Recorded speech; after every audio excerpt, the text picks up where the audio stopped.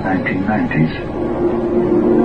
I Mike deGruy as one of a handful of people to ever see it in person. Without a doubt, one of the most amazing things that I have ever seen in the bottom of the ocean. It was while filming for Blue Planet. It was in the Gulf of Mexico. And I noticed there's something out in the distance. Couldn't tell exactly what, but it looked like a dark band.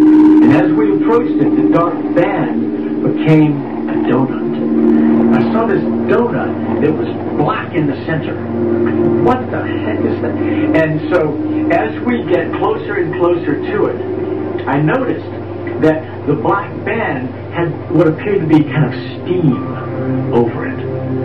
And then I looked, and there was water lapping against the shoreline. This band was a ring of mussels.